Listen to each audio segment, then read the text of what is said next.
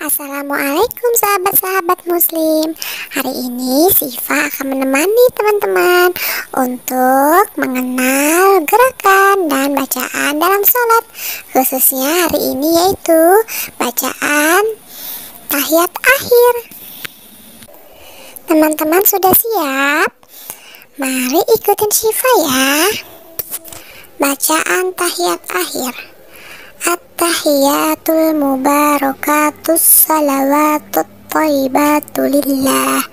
السلام عليك أيها النبي ورحمة الله وبركاته. السلام علينا وعلى عباد الله الصالحين.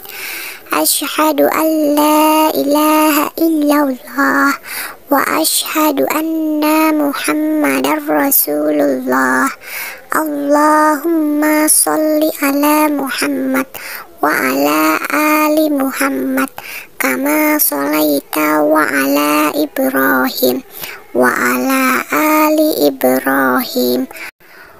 ala ali Ibrahim wa barik ala Muhammad wa ala ali Muhammad kama barakta ala Ibrahim wa ala ali Ibrahim fil alamina innaka hamidun majid Bagaimana teman-teman? Semoga bermanfaat ya. Baik, sampai di sini perjumpaan kita. Nanti Siva kembali lagi di lain waktu. Siva pamit dulu. Wassalamualaikum warahmatullahi wabarakatuh. Dadah teman